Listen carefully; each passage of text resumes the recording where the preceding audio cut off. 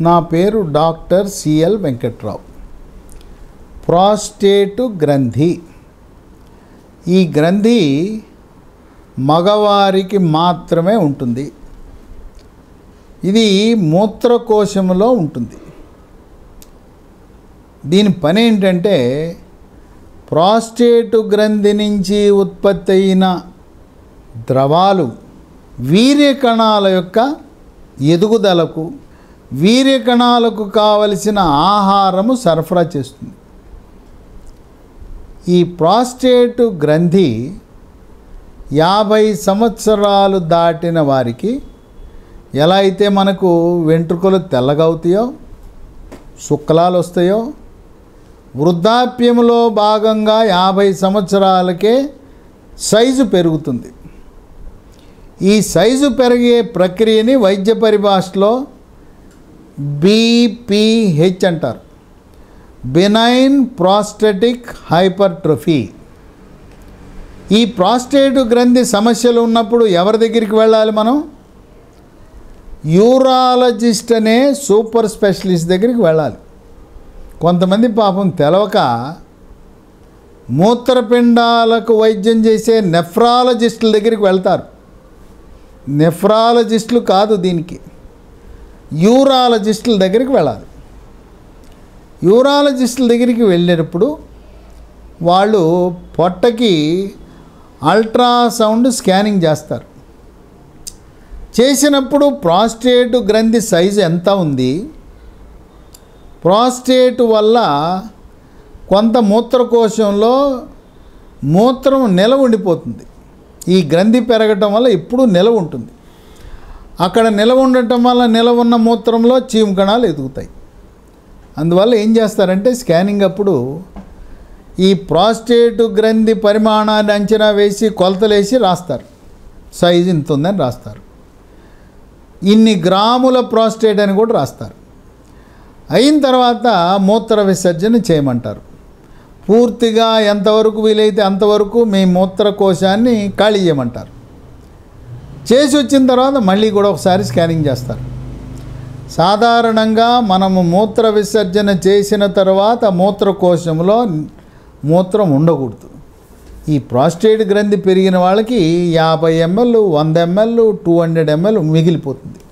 దీన్ని పీవీఆర్ అంటారు. Post void residue. మూత్ర విసర్జన చేసిన తర్వాత కూడా మూత్రకోశంలో మిగిలిపోయే యూరిన్ మూత్రము ఆధారంగా యూరాలజిస్ట్ నిర్ణయం తీసుకుంటాడు.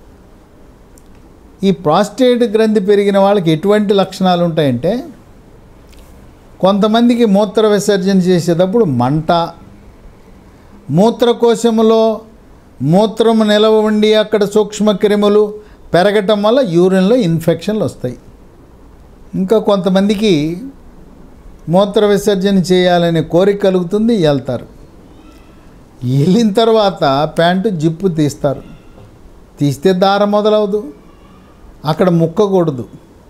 ఓ నిమిషమో రెండు నిమిషాలు ఓపిక పడితే అప్పుడు దార ప్రారంభమవుతుంది.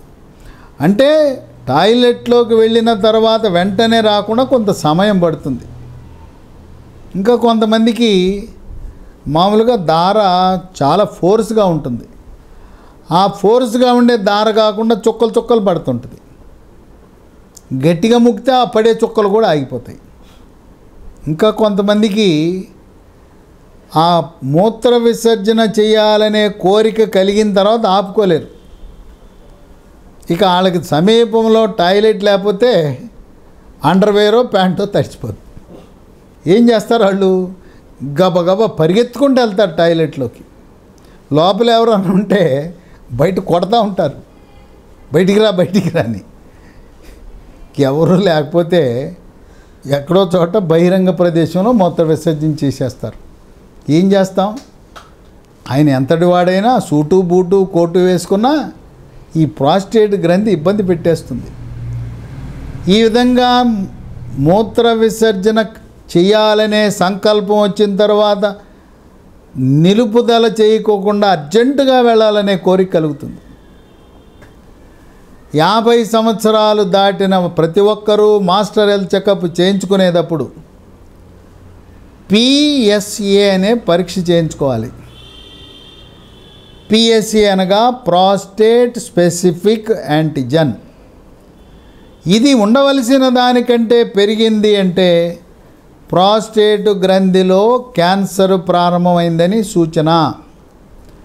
ప్రాస్టేట్ గ్రంథి పెరిగినప్పుడు ఎటువంటి లక్షణాలు ఉంటాయో క్యాన్సర్ కూడా అటువంటి లక్షణాలే ఉంటాయి. కనుక ప్రతి సంవత్సరము విధిగా యాభై సంవత్సరాలు దాటిన వాళ్ళు సంవత్సరానికి ఒకసారి పిఎస్ఏ టెస్ట్ చేయించండి. పిఎస్ఏ పెరిగింది. ప్రాస్టేట్ గ్రంథి క్యాన్సర్ తొలి దశలో గుర్తించారు. ఆ తొలి దశలో పిఎస్సి ఆధారంగా గుర్తిస్తే మీకు దేవుడు ఎంత ఆయుష్ ఇచ్చాడో అంతకాలం బతుకుతారు. యాభై ఏళ్ళు గుర్తిస్తే మరో యాభై ఏళ్ళు బతుకుతారు. ఈ పిఎస్సీ పరీక్ష చేయకపోతే ప్రాస్టేట్ క్యాన్సర్ అని తెలుసుకోవడానికి ఇంకా నాలుగైదేళ్ళు పడుతుంది. కొంతమంది ప్రాస్టేట్ గ్రంథి క్యాన్సర్ ముదిరిపోయి ఎముకలలోకి పాకి ఊపిరితిత్తుల్లోకి పాకి కాలేయంలోకి పాకి మెదడులోకి వెళ్ళి నాలుగవ దశలో గుర్తిస్తారు. ప్రాస్టేట్ గ్రంథి క్యాన్సర్ నాలుగవ దశలో గుర్తిస్తే సంవత్సరం నుంచి బతకరు. కనుక మాస్టర్ హెల్త్ చెకప్లో మీరు పిఎస్ఏ అనే పరీక్ష ఉందా లేదా అడగండి. లేదంటే దాంట్లో అదనంగా మీరు దానికి డబ్బు చెల్లించి పిఎస్ఏ పరీక్ష సంవత్సరానికి ఒకసారి చేయించుకోవాలి. ఈ విధంగా ప్రాస్టేట్ గ్రంథి వంద మందికి ఉంటే తొంభై ఐదు మందికి పెరిగినప్పుడు మందులతోనే నయం చేసేయచ్చు. ప్రతి ఒక్కరికి ఆపరేషన్ అవసరం లేదు. గతంలో పొట్టకోసి ఆపరేషన్ చేసేవారు. ఇప్పుడు ఎండోస్కోపీ పరికరాల ద్వారానే పొట్ట కొయ్యకుండా ప్రాస్టేట్ గ్రంథిని తొలగించే అవకాశం ఉంది.